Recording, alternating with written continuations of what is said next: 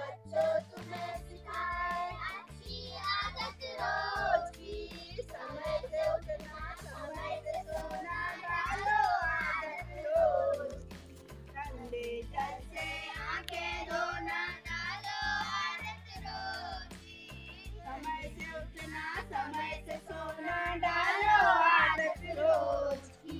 मलमल करके रोज नहाओ बालों को भी